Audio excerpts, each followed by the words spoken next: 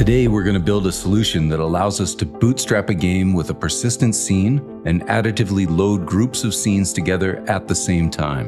What I want to achieve is to have one scene that holds services and objects that will exist for the lifetime of the game, and then load in gameplay, UI, environments, and cinematics as different scenes that comprise a scene group. A scene group could be just one scene, or it could be 10 or more. Let's see how we can get this done.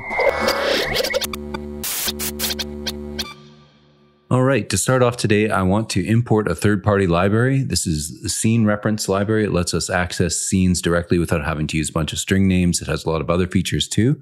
So let's bring that into the project quickly.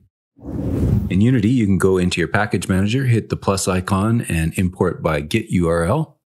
I'm importing version 4.0. This is going to give us a new type called scene reference.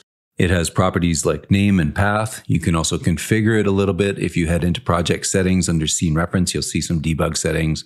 It's worth noting that this library also supports addressables. So let's see how we can use this in Unity. Because I want to load my scenes as groups of scenes, I'm going to define some metadata about them.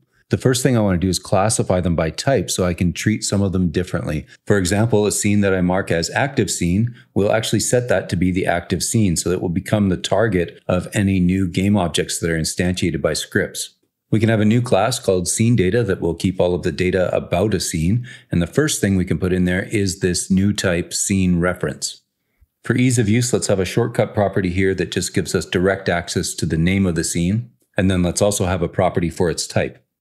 So now we can say a few things about each scene. Let's assemble them into a scene group. A scene group can have a list of scene data.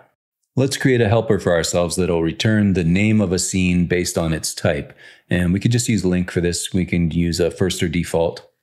That's probably all the data we need right now. We can come back and add a few more things to this later if necessary. So let's have a look at how we can make use of this data. I've got a new class here, Scene Group Manager. Now, this is not a mono behavior, just a pure C sharp class. I want it to be able to publish a few events for us. So whenever we load a scene, unload a scene, or we load an entire scene group, I want to publish an action. We're also going to need a reference to the active scene group, whichever one we've currently got loaded. Most methods from Unity's scene manager return an async operation. I want to collect all of these return types into a group that we can perform actions and logic on. Let's have a struct here where we keep a read-only list of all these async operations. We can just call it operations. The constructor can take the capacity and just create a new list for us. I want two public properties. The first one, I want to be able to tell us a float value of the progress of all the operations. Every async operation has a progress property. Let's just get the average of them using LINQ. Let's have one more public property that will tell us if they're all finished. Async operations also have an is done property. Now we can use this new struct up in our main class when we're loading and unloading scenes. So let's create two methods here. The first one, load scenes, is going to be async, returns a task. It's going to accept a scene group, a special type called iProgress, and a Boolean that will define whether or not we're going to reload scenes that actually are already loaded. You could always set that to true if you wanted some duplicates. Now we just need a very basic unload scenes because we already know what the active scene group is. We don't really need to pass in more parameters. Let's quickly divert to look at this iProgress interface. There's actually nothing too crazy about this. This is a very simple interface that's part of .NET. It can hold any type T, and it actually only has one method you can see at the bottom there, which is report. Typical use is that you use the report method to actually report on the progress being made. So for this purpose, I've made a very simple implementation of it. It's an iProgress type float called loading progress. Every time we get a report, we're going to publish an event, which is just the ratio of progress we've made. So let's come back to our load scenes method. And first of all, let's set our active scene group to the group that we pass into the method. I want a variable that's going to store any loaded scenes that are still here after we're done running the unload scenes method. So that might be our bootstrapper, our active gameplay scene, perhaps. Depends on your game. We'll get to that in a moment. For now, after we're done unloading the scenes, let's first of all get a count of what scenes are still open. So we can use the scene manager scene count property for that. Then we can iterate over all of these scenes and one by one, we'll add them into this loaded scene list. Let's figure out how many scenes are actually in the active scene group that we just passed in. And then let's create a new async operation group for them. We'll just scroll down a little bit here so we have some more breathing room. Now we can get to the actual loading operation. So we're just going to iterate over all of the scenes that we're going to load. We can just make a for loop that's going to just count up to the total amount of scenes that we have to operate on. Let's first get a variable with the scene data for the first scene. If this scene is a duplicate of a scene that's already loaded and we said there's no dupes, let's just continue and go to the next iteration. Otherwise, let's start loading the scene asynchronously and get a handle on that operation. And then we're going to put this operation into our async operation group variable. We can just add it directly to the list there. Once that's done, let's publish an event that says that we've started to load this particular scene.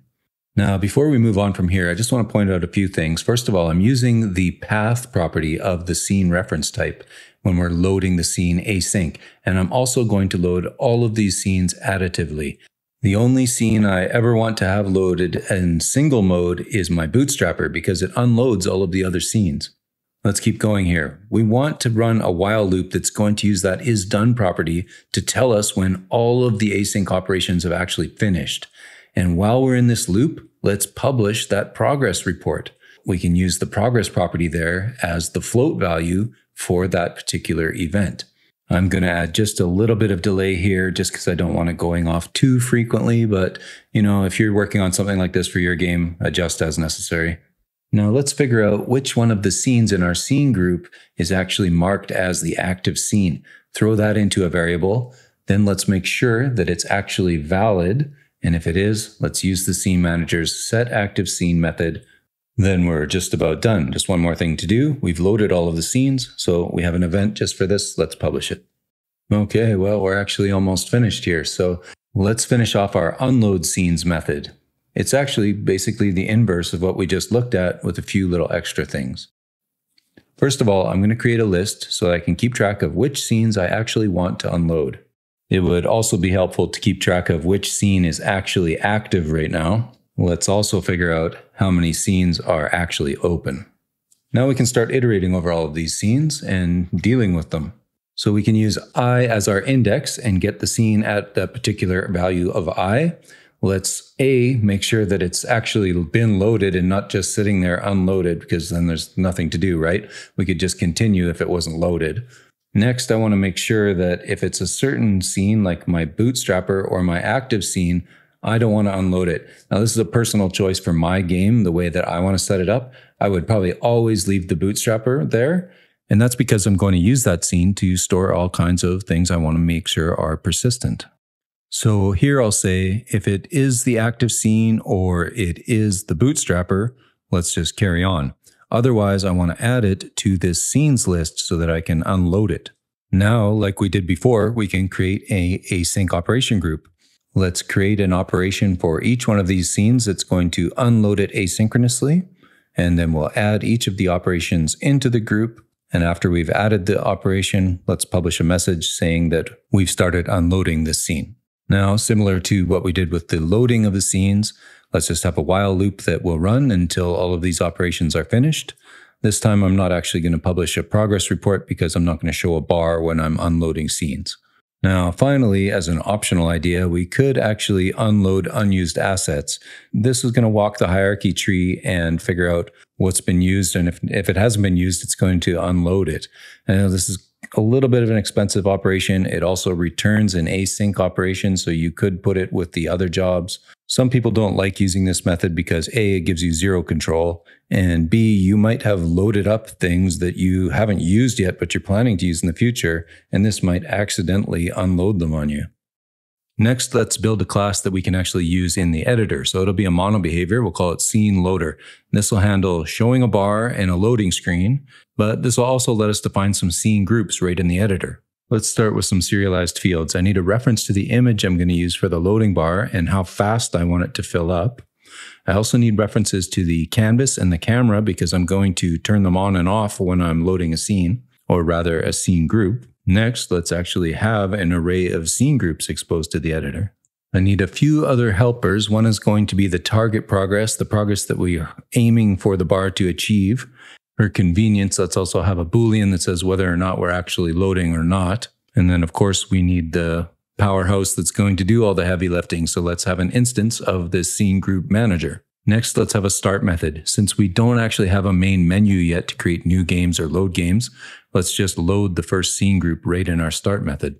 The load scene group doesn't have to be too complicated. We really just want to wrap up the manager method and decide whether or not we're going to show the loading screen. Now, some people like to load in a whole other loading scene, and that's one way you can do it, but we can also just show the bar here. Let's say that at this point we want our target progress to be a full bar, so 1F, but we'll start the fill amount at zero. Now for a sanity check, let's make sure there was a valid number passed in there. After this, we need an instance of that loading progress class that implements the iProgress interface. I'm going to add a Lambda expression to the progress's progressed event. And all this is going to do is say target progress is going to equal the greater of either what's coming out of the event from the actual loading progress or our target progress.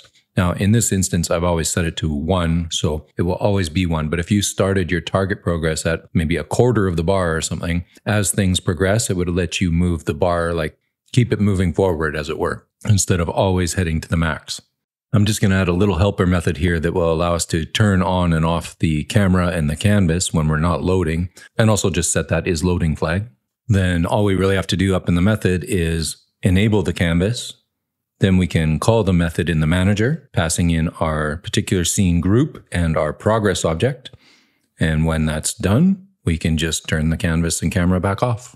If we come back up to the top, we can create an update method that will handle actually progressing our bar.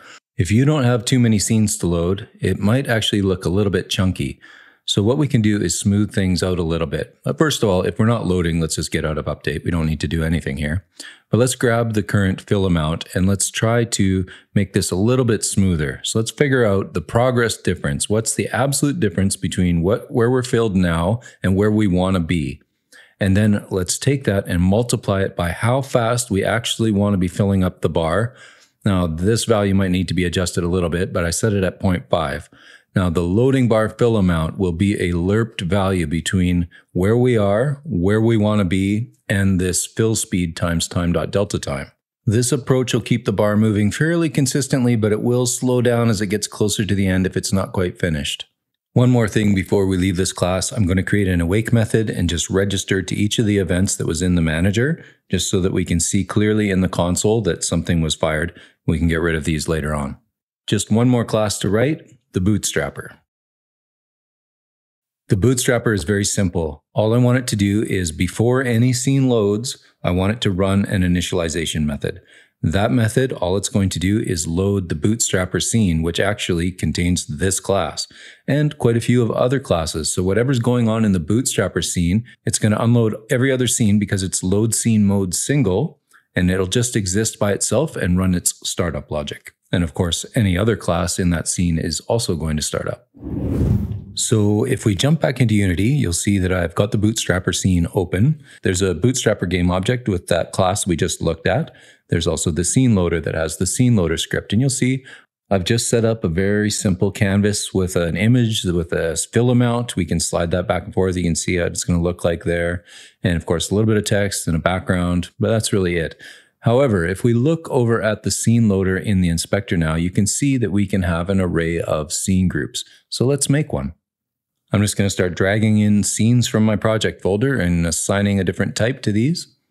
For my first level, I'm going to have gameplay, a UI, and a cinematic, which I've disabled for right now, but uh, we still load up all three of those scenes. But if I make another one here, I can still have my gameplay, but it's going to get ignored because that's the active scene and that's how I've set things up.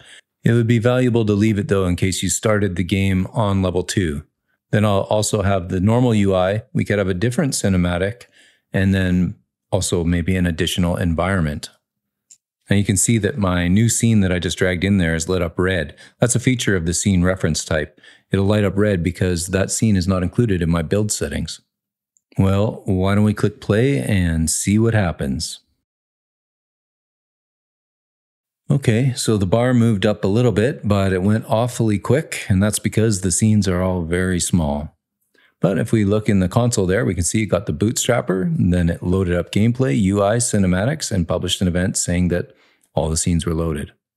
it might be more useful for our testing purposes to actually come back here into the scene group manager and just add a little delay. So for every single scene that we're going to load, let's just add a 2.5 second delay.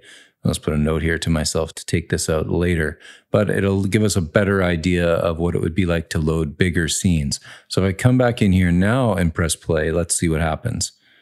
So there we go. Going a little bit longer, we can see the things coming in and the bar is going slower and slower as it gets to the end. And then here we are. All scenes are done. Shows up my inventory, which I can put away. And now I can run around in my game world. And if you look up in the hierarchy, you'll see that they're there in the order they were loaded in as well. The gameplay scene is marked in bold. That means that it's the active scene where everything's going to get instantiated. If we look at the scene loader here, you'll see that I put two buttons on it. And this is just for convenience for now, for me to load up the second group or the first group. So I'm going to load up the second group now and let's see what happens. So there we go. It's basically everything that was in the first group, but I've added the extra environment there. So now I can just run up there and continue my adventure if I so desire. At this point, I would start thinking about how am I going to start communicating between these different scenes and getting references to objects and systems in these other scenes. For example, my inventory is in the UI scene. How am I going to do anything with it from the gameplay scene? For me personally, I've started to use the service locator more and more and the event bus in almost every project. So there's a video on each of those topics already on the channel. I encourage you to watch those if you're interested in that kind of thing. I want to point out too that this kind of system lends itself very well to addressables, and we're going to have a video on that topic very soon. Well, that's all I've got for you today. Feel free to leave a comment or question below or join the other subscribers on Discord. I've got a big episode planned for next week, but if you can't wait that long, just click on one of these boxes on your screen and I'll see you there.